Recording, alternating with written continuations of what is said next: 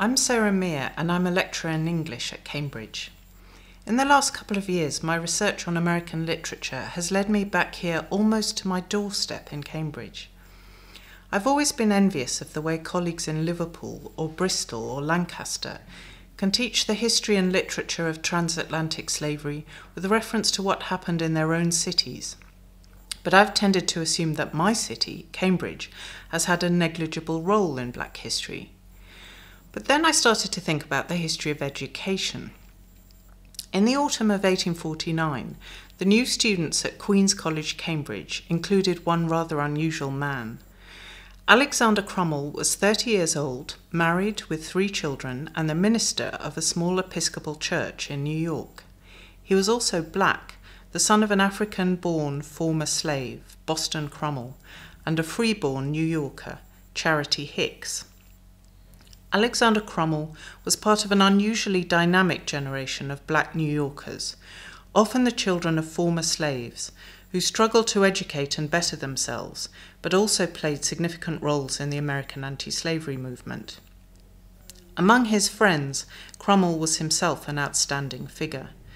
After his degree, Crummell spent nearly 20 years in Liberia as a teacher and priest and was one of the first professors at Liberia College. In the United States after the Civil War, Crummell continued to be a spokesman for his community and a champion of higher education, especially in the face of segregation in the southern states.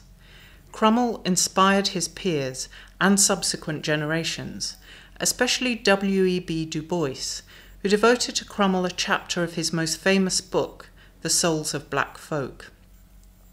But the key to Crummell's influence was his belief in education as the route to liberation for all people of African descent. And for Crummell, the highest point of his own education was his time at Cambridge. Crummell came to Britain at a time of committed transatlantic activism against slavery. He made friends in the movement who recognized Crummell's own thwarted desire for a higher education as part of the waste of talent produced by slavery and prejudice.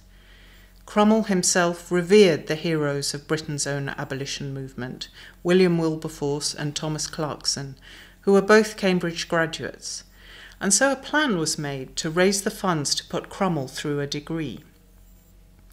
He moved his family into a tiny house on an ancient lane near Queen's College and commenced his studies.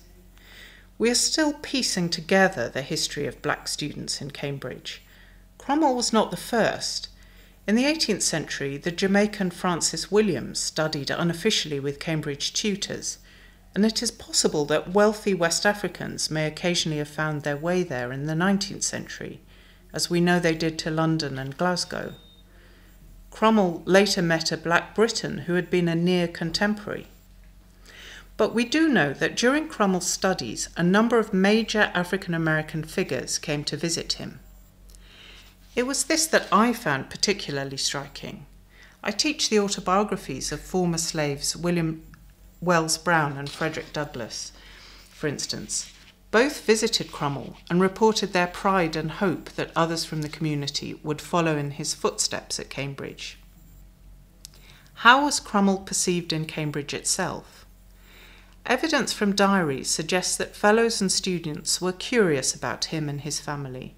Some wished him well and sorrowed at the death of his four year old son.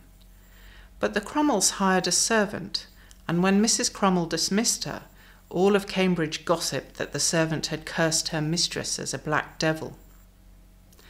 For me, the most astonishing thing was that American literature played a part in Crummell's reception. In 1852, an American anti slavery novel took the world by storm. Harriet Beecher Stowe's Uncle Tom's Cabin brought slavery to the world's attention, and her cast of black fictional characters became internationally recognizable. It seems that Crummell's fellow students started to call him Topsy after a character in the novel. At Crummell's graduation ceremony, one of those students proposed three cheers for Topsy. Again, I teach Uncle Tom's Cabin, so this story was fascinating to me. But Crummell's life seems to speak very powerfully to our own concerns at a time when higher education and the role it plays in society is the subject of political debate and street demonstrations. Crummell would have argued fiercely against a purely individual, materialistic conception of education. His university degree was itself a powerful argument against slavery and prejudice, and afterwards he devoted his learning to the service of his people.